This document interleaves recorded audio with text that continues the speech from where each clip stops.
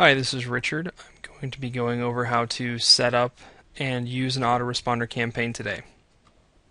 First, you're going to log into your account, and from the home screen, you're going to mouse over Campaigns and select Autoresponder from the drop down menu. In order to create a new campaign, we're going to hit the Create button, which will open up the autoresponder template. In campaign name, you're going to type whatever you want to name this campaign. The end user who is text messaging in um, will never see this title, so it's only for you and your client's benefit. The keyword is what the end user will actually text message into the shortcode. Um, so you can type in whatever you want that keyword to be, um, and it'll tell you instantly whether it's available or not. This keyword is available, so then we'll continue on. The reply message is what um, the end user will receive back immediately after text messaging in this keyword. Um,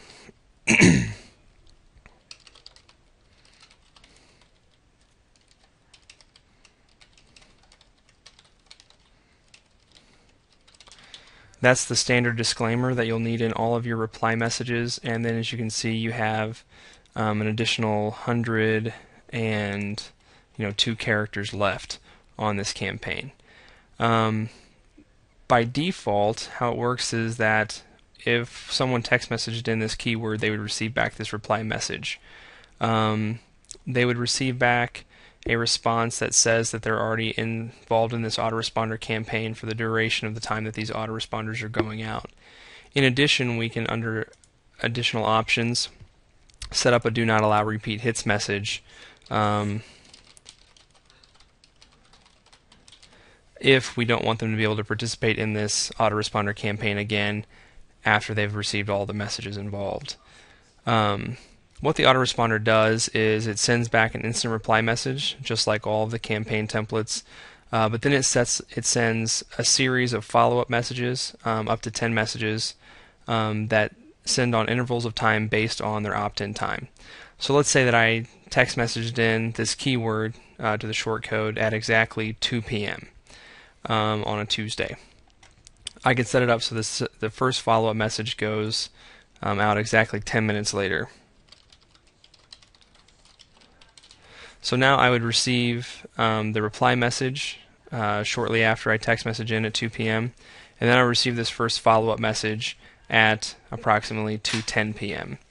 Um, you can set up to 10 of these messages, and uh, for all sorts of different variables of time, um, minutes, hours, days, and these are all based in, off of that opt-in time. So these are extra messages for that person after they very opt in the very first time. Um, they'll you know they'll go into a database and you can send them blast messages just like you normally would in any database. But these people will get um, a couple of extra messages based off of this campaign after they opt in the very first time. Um, once we've scheduled in all of our follow-up messages, Then we're just going to hit uh, save to launch that keyword and it is now active and ready to use. The last step to setting up your autoresponder campaign will be to program in the group that the opt-ins will go into. So we're going to go over to groups and then click dynamic groups. Dynamic groups are groups that are created off of keywords. Um, so we're going to go ahead and click new.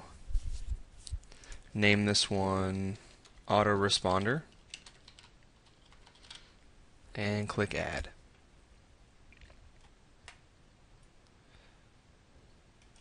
We're going to highlight that group. Um, whichever one is highlighted is the one that you are working on at the moment. So we're going to make sure that the one we just created, autoresponder, is highlighted. And then from the drop down menu, we're going to click the appropriate keyword.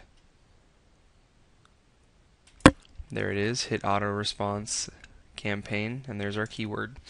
Click Update. And then from then on, any person that text messages the keyword for that autoresponder campaign that we just set up will go into this group we called autoresponder.